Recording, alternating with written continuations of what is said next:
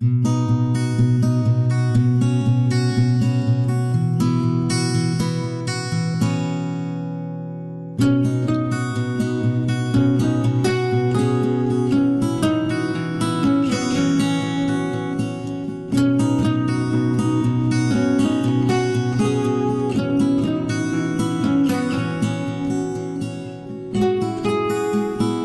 Selma Valk en ik werk in mijn eigen bureau Dare to. Dare to Dive verzorgt voor teams, trainingen en teamuitjes.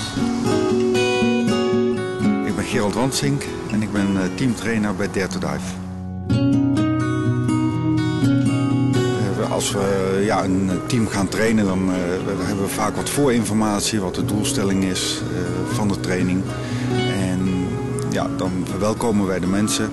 En ongemerkt beginnen we eigenlijk met een voorstelrondje waar we specifieke vragen instellen. Zodat er eigenlijk al een discussie eh, op eh, gang kan komen. Waarbij we dus dan eh, ja, wat dieper op bepaalde punten ingaan. Waardoor het team in één keer interactief wordt.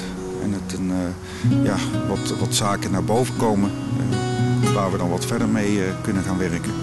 Dan gaan we vaak met de teambuilding sessie beginnen. Dat zijn wat oefeningen, zowel onder als boven water.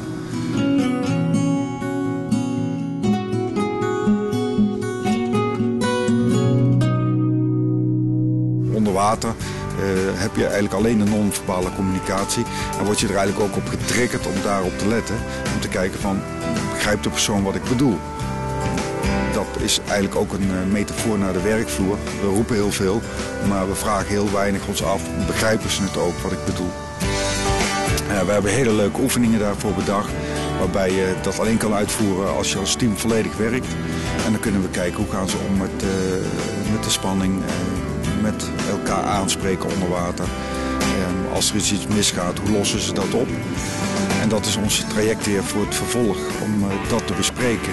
En dan leggen we eigenlijk verbanden naar de werkvloer of ze dat herkennen. Bijzondere ervan is dat als je mensen mee onder water neemt, er een puurheid ontstaat.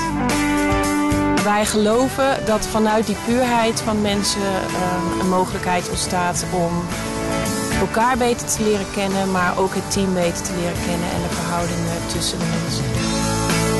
Het belangrijke van een teambuilding sessie is om te kijken van waar zijn er verbeterpunten mogelijk binnen een team. Wat speelt er binnen een team?